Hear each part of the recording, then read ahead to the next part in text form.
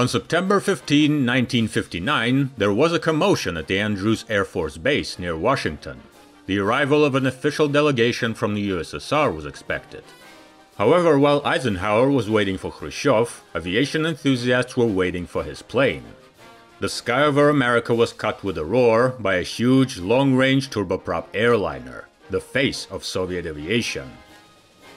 Hello aviators, Sky here, and today, decades after that iconic flight, we meet this giant again. Welcome to the Tu-114.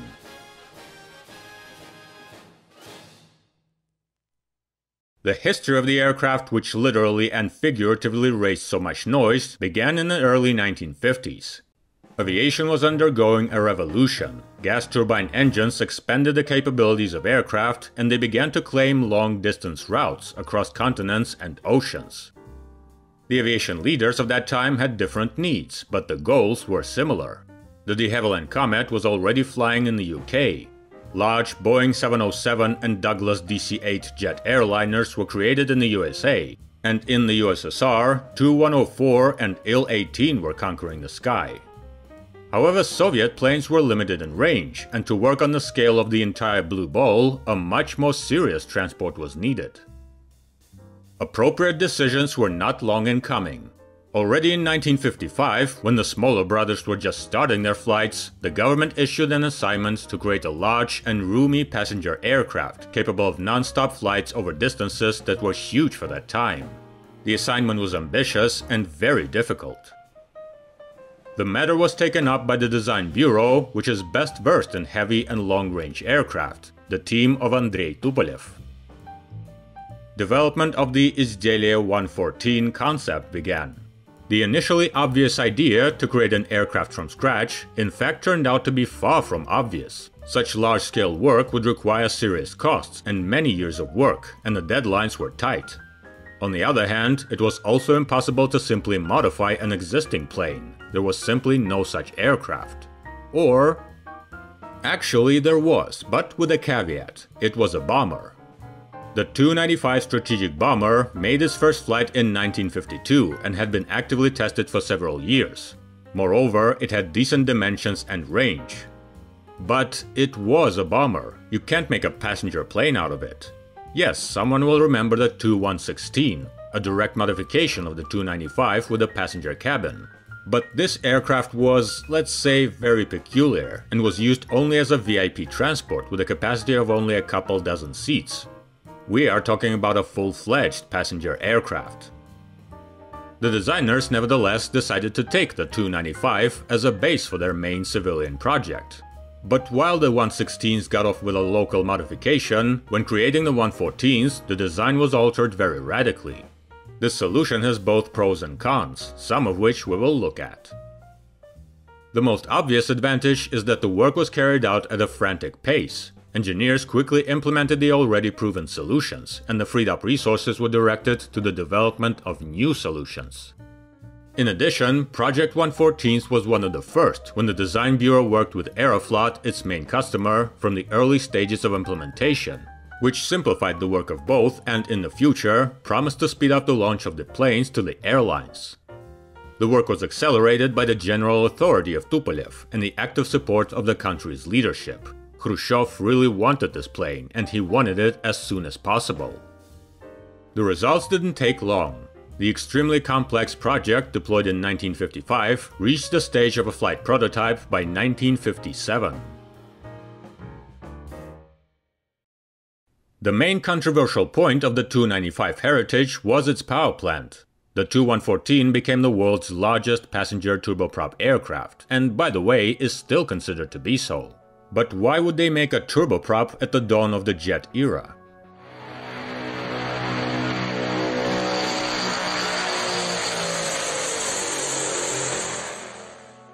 The point is not that the engineers were too lazy to make a jet aircraft, but that there was not much of a choice. Yes, jet power plants were more promising, but those were the 1950s. Nowadays, large turbofan engines are amazing, but at that time they were not powerful enough, and more importantly had terrible fuel efficiency and reliability. Considering the urgency of creating the aircraft, the required jet engine was beyond the planning horizon.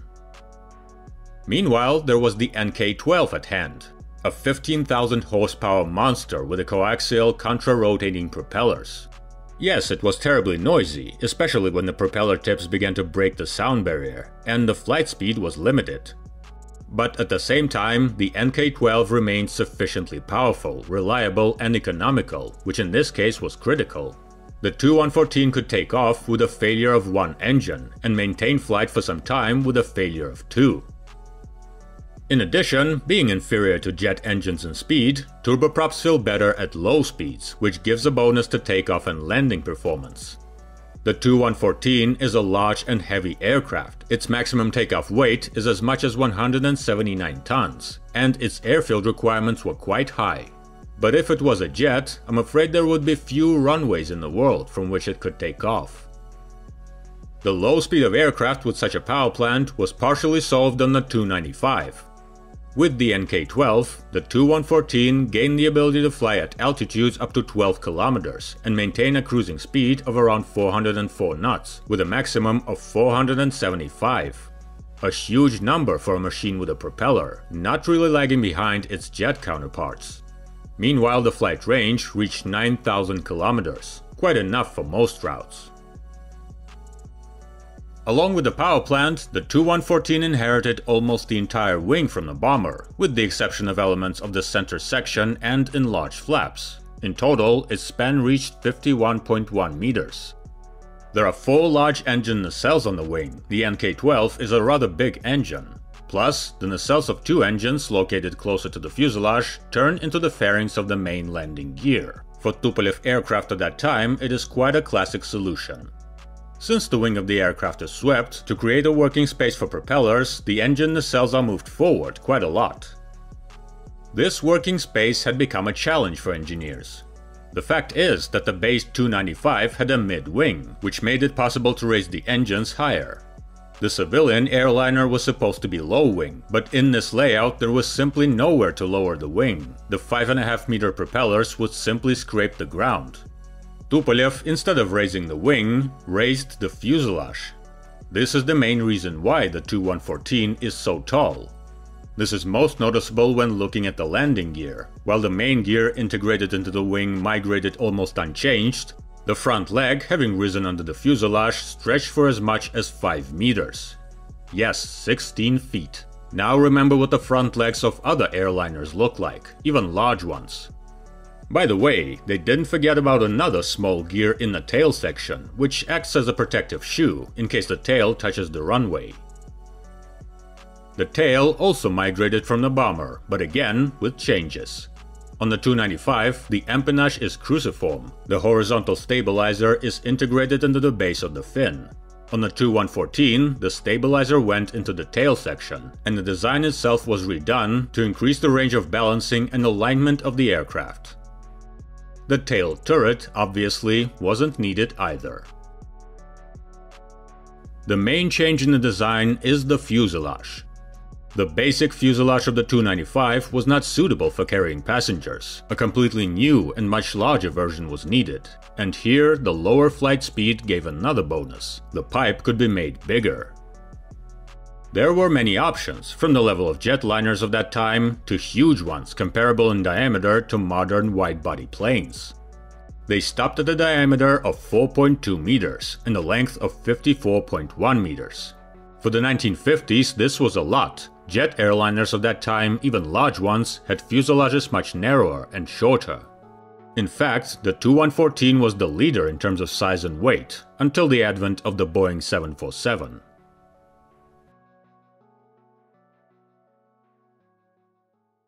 Of course, knowing the record dimensions of the fuselage, it immediately becomes interesting what it has inside. Climbing a tall ladder, we pass through the front door and find ourselves in a small lobby. Here, there are seats for flight attendants, as well as a couple of relatively standard lavatories. To the right of the front door is the pass for passengers to the first cabin. To the left is the pass for the crew to the cockpit. The door to the cockpit is quite miniature and at the same time thick.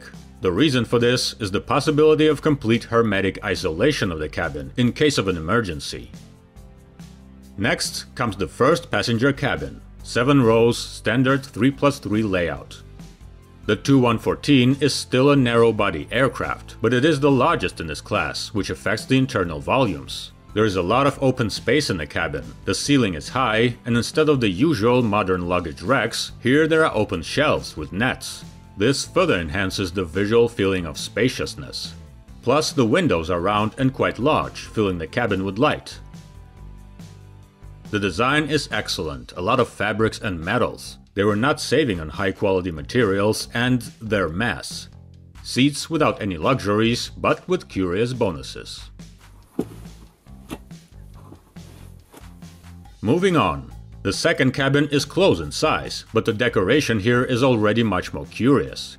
Instead of standard seats, there are sofas opposite each other, separated by tables. More like a train cabin than an airplane.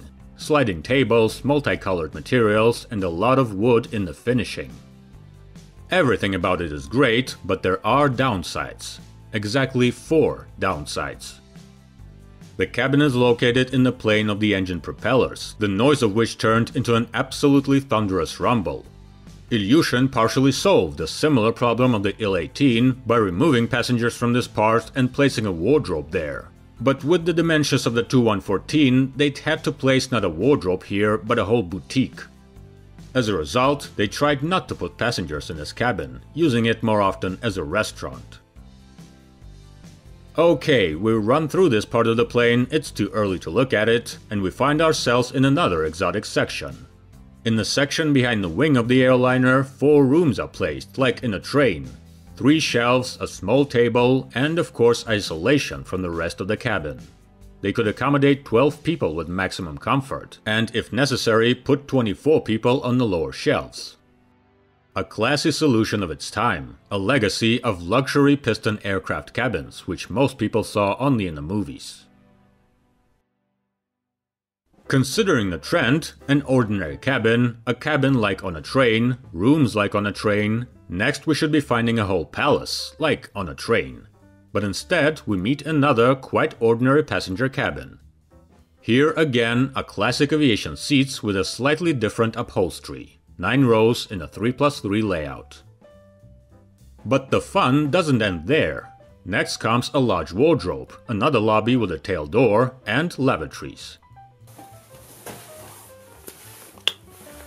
The creators of the tail lavatories clearly were not limiting themselves. There are two large rooms. Yes, two, female and male. Each has two booths, sinks, mirrors, and illuminated tables. Windows were placed in the ceiling for natural light during the day, as well as lamps for illumination at night. From the point of view of the layout of passenger aircraft, of course a wild waste of space, but in terms of appearance and comfort this is luxury, more like the toilets of a restaurant than an airplane. If you think that the exotics are over, then no, it's time for dessert. We return to the section near the wing, between the second cabin and the sleeping compartments. There is a galley here. Thermoses, boilers, sinks, niches for bottles, and shelves for all kinds of tasty little things. There are two large windows in the ceiling. The question immediately arises where is the food if there are only bottles, sweets, and boilers in the buffet? Well, the food was cooked in a kitchen, downstairs. The dimensions of the Tu-114 allowed the designers to place additional rooms on the lower deck. Near the buffet, there is a full staircase leading down. Here, there is a rest cabin for the crew, as well as the kitchen where all the food is prepared and sent upstairs to the galley. Trays were lifted in special elevators, while bottles and other small things could be passed through a niche under the stairs.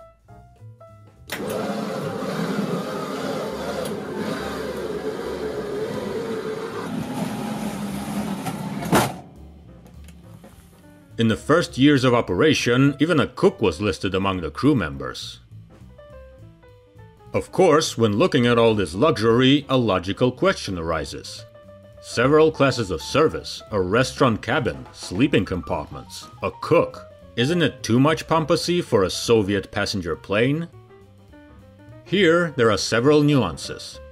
These were the 1950s, an era of rapid development of aviation, which was in the center of public attention. Each new plane was presented as a flying palace, and the larger it was, the more palatial it was considered. The flagships had cabins, bars, restaurants, and recreation areas. Soviet aircraft manufacturers were no exceptions to this trend, and in some cases allowed themselves to play with interior design. Besides, the plane which we are looking at is not quite ordinary. On the exposition of the Aviation Museum in Monino, there is the plane USSR L-5611. Yes, this is the same plane that participated in exhibitions and made many sensational international flights, often carrying high political delegations. In fact, a government plane and demonstrator of achievements could not be ordinary. Because of this, the seating density in a cabin of this size was very modest, only 170 seats. Naturally, not all 114s were like that. Production planes started off with similar layouts, but pretty quickly moved on to regular cabins, accommodating 220 passengers. Not as luxurious, but economically much more efficient.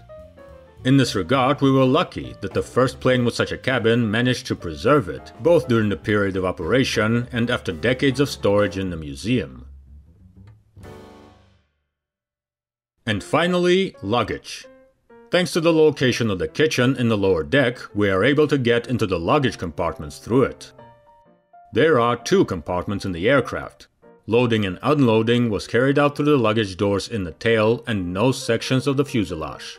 The solution is quite classic, plus access through the lower deck. You could get here during the flight. In the early stages of work, the designers had ideas to leave the vertical loading option, according to the scheme that is used to equip the Tu-95 with weapons. But the idea was abandoned. For civil aviation it was too exotic and fraught with difficulties in operation. Finally, we return to the nose, and having passed through the small pressure door, we find ourselves in the cockpit. At first glance, it is clear whose brainchild this is. The layout is very close to other Tupolev civil airliners of that time. A huge number of instruments, large steering wheels, glazing, and of course the navigator's cabin in the nose. A kind of upgraded version of the Tu-104. But given the size of the aircraft, this upgrade strongly affected the dimensions of the cockpit. It is simply huge. The interior space has grown very much. In comparison with it, the workplaces of the pilots of most of its peers felt like the cockpits of bathyscaphs. The layout for civilian Tupolev airliners is quite familiar and is designed for five people. Two pilots in their places, a flight engineer, a radio operator, and a navigator. Moreover, the navigator had an additional function. Due to the very high front leg, the aircraft on the ground raised its nose a little, which diminished visibility for the pilots, so the role of the eyes when taxiing often went to the navigator, who had all the views open. The aircraft made its maiden flight in November 1957 and gave rise to an epic testing story with breaks for various demonstration flights. In 1959, the plane number L5611, through which we are now walking, took part in a whole world tour. It visited the International Exhibition in Brussels and then became the highlight of the Soviet exposition at the Paris Air Show. Then it made its first transatlantic flight, going to New York for an exhibition of achievements of Soviet science, technology, and culture. In New York in 1959. This arrival was a sensation, and the services of Idlewild Airport, the current Kennedy Airport, had to sweat. It turned out that they didn't have ladders this high. In demonstrating the success of the aviation industry, the fastest turboprop aircraft in the world, which at the same time was also the largest passenger aircraft in the world, did very well. The second flight to the United States made this aircraft even more famous when, in the autumn of 1959, it brought to Washington the Soviet delegation, led by Nikita Khrushchev. Aeroflot greatly benefited from the close work with the design bureau. The period of accepting the aircraft into the park was minimal. Some of the crews mastered the plane at the testing stages, and the training was carried out directly at the Tupolev facilities in Kuibyshev, modern Samara, where the Tu-114 was assembled. This whole team soon became the core of the 206th Vnukovo Flight Squadron, flying on a new long-range aircraft.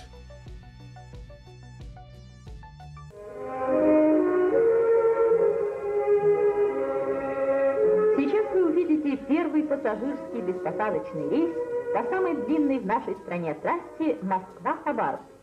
Regular flights in the USSR began in 1961, and over the next few years, aircraft also entered international routes. Especially, of course, it is necessary to note the adventures of the Tu-114 in flights to Cuba.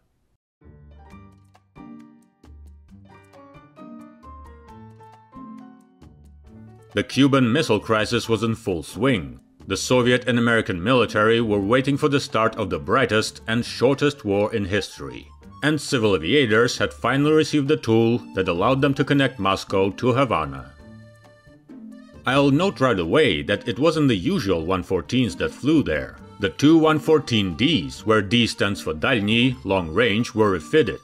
The number of passengers was reduced to 60, part of the cargo volume gave way to additional fuel tanks, and the takeoff weight reached 182 tons. This gave additional range. Nevertheless, Havana turned out to be almost at the limiting point of the Tu-114D range, and for safety reasons, options for performing intermediate landings were considered.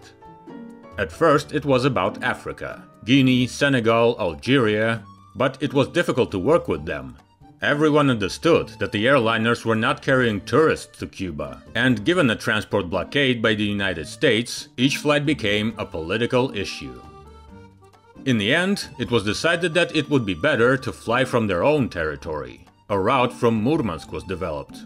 At first glance, this route may seem strange. Why fly north to then fly south? But it just so happens that the Earth is round, and the path from Murmansk was shorter than from Moscow.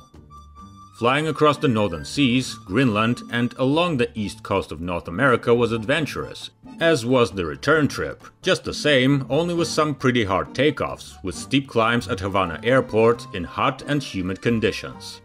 But the task was completed. Transport links were established, and the airliner successfully flew with passengers and cargo without incident.